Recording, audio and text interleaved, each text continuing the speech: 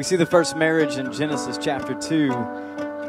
After God had spoken everything into creation, he then bent down into the dust of the earth and formed man and breathed life into him.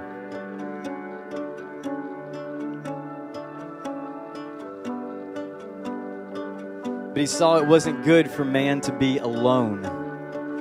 And so he created woman, meaning of man. He didn't create woman, he did not create Eve from the head of the man to be over him, nor from his foot to be underneath him, but he created woman from the side to be equal to him and to be protected under his wing.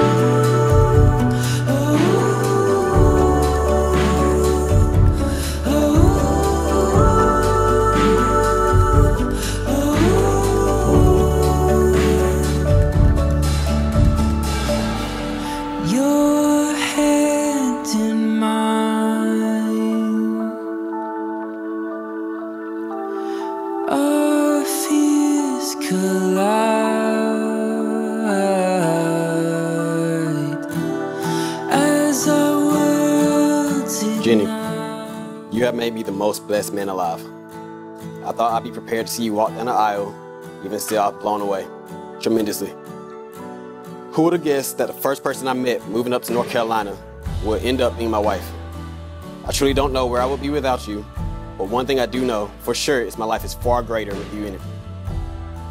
I have no doubt that you are the person I've been praying will come into my life, even still, I was not prepared for how much joy and happiness you would bring to me.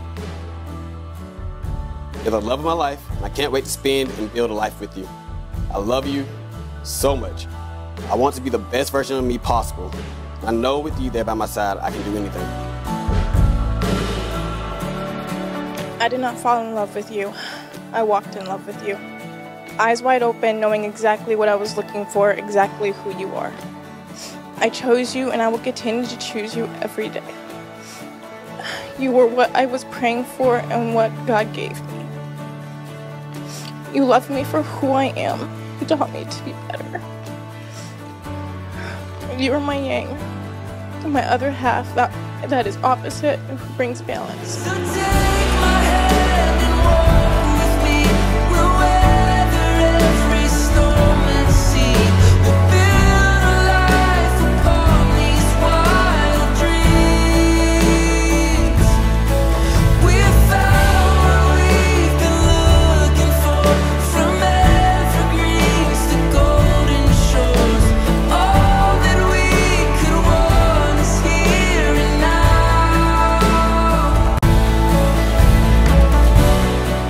It is your responsibility to nurture her, to encourage and empower her to be the woman God has called her to be.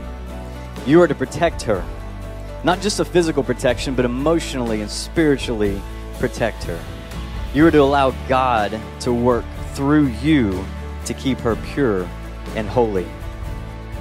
You are charged with leading her in a closer walk with Jesus and not taking her away from that. Do you accept that responsibility? Absolutely.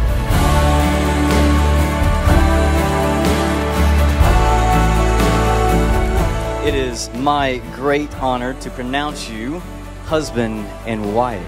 You may kiss your bride.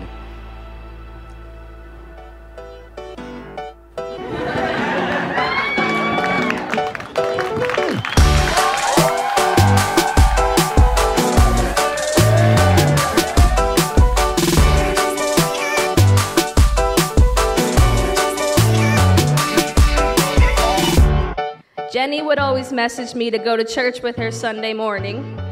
And Jenny and Jerome had both come out of relationships, and I thought they would make a perfect match.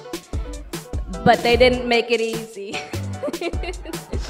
I had to trick them into hanging out. I would tell them we're all going to church together, then mysteriously get a text from my husband and would need to leave. This is where I wanna be, nah, nah, nah. Never ever gonna leave,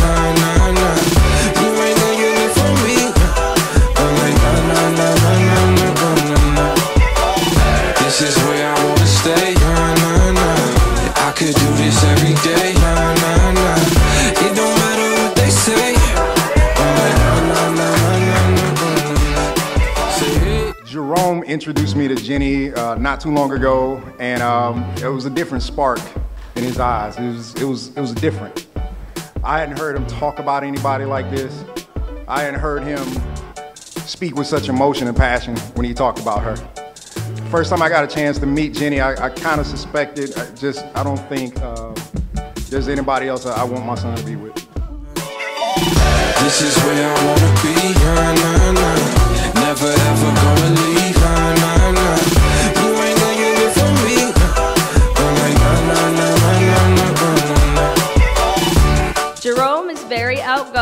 and Jenny is very reserved. Jerome loves going out and Jenny is more of a homebody. They are the yin to their yang. They're perfectly balance each other and they keep each other grounded. And I wish nothing but blessings and happiness and long and happy marriage. I love y'all. Cheers.